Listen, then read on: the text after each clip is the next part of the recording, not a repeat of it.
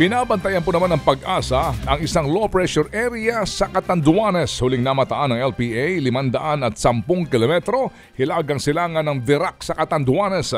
Dahil dyan ay at sa habagat magkakaroon ng mga pag-ulan sa Bicol Region, Mimaropa, Western Visayas, Zamboanga Peninsula, BARNM, Soxargen at Quezon. Habang sa Metro Manila ay at ilang pang bahagi po ng ating kapuluan ay posibleng magkaroon pa rin ng pulupulong dagli ang pag-ulan ng dahil sa hanging habagat. Ted Filon at DJ Chacha. Ngayon, nasa Radyo 5, 92.3 News FM. Monday to Friday, 6 to 10 a.m.